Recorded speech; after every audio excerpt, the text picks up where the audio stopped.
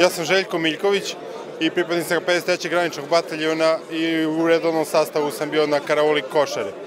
Veoma sam zadovoljan filmom koji je jako onako u potpunosti donekle mogao da vam dočara situaciju u kojoj smo mi bili za vreme rata na, na Karaoli Košare. Pa vidite, pošto je film rađen po našim pričama, tako da je autentičnost tako reći 100%. I ovi momci što su, da nazovem, odglumili, ovo je jako, jako, jako autentično, tako da svaka čast.